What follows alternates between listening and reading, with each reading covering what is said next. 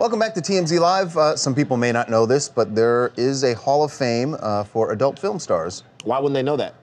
It's because some people just don't know that. Not everybody has the vast knowledge of the adult film world as you do. AVN Hall of Fame. There's Uh, several different Hall of Fames. Shout out to XBiz as well. This video is uh, of a Hall of Famer, Jesse Jane, uh, but it is her after a football game. Uh, she is a, an Oklahoma native, and she went to the big game last You know weekend. what? Shout out to Urban X as well, because that's an ethnic porn uh, situation. They got Oh their my Hall gosh! What? as well. Hijack. Uh, Reagan's Reagan's in there like, what are you doing?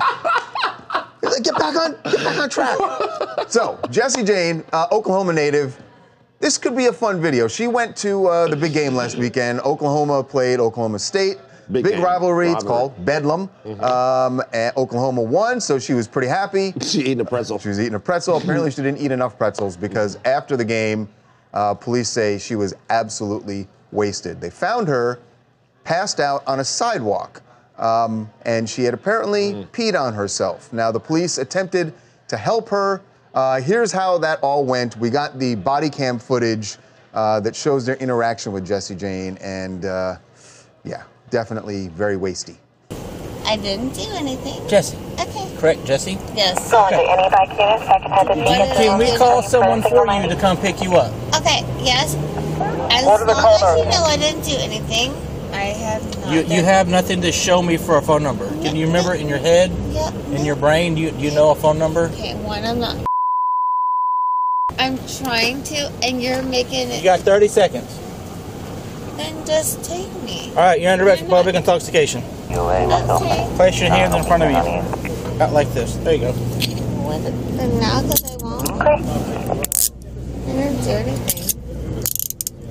I gotta be honest with you. That seems a little. I'm kind of on Jesse Jane's side. I know, of this. wait a minute. Like, But you know what, guys? you This, this is why she was seconds? arrested. Wait, this is why she's arrested. She can't take care of herself. Basically, when you're arrested for drunk in it. public, you can't take care of yourself. And she wasn't able to provide someone to pick her up. Because if they could have, they would have just released her to her, and it's no harm, no foul. Uh, We should actually we should say uh, on, on behalf of the police there. He, it sounded like he very quickly just said we're going to arrest you. But that video know how go, long, no, the yeah. video Yeah, goes no, on for a long yeah, time. We and had to edit basically it what happens there. is you go to jail, you sober up, and you're gone, and there's They put her in nothing more to it. Yeah, Put her in that's basically what what happens. Don't drink uh, so much. I I guess my other question when I when I saw this was at the, the video she posted at the game. She mm-hmm. was with friends. yeah. Where were they at?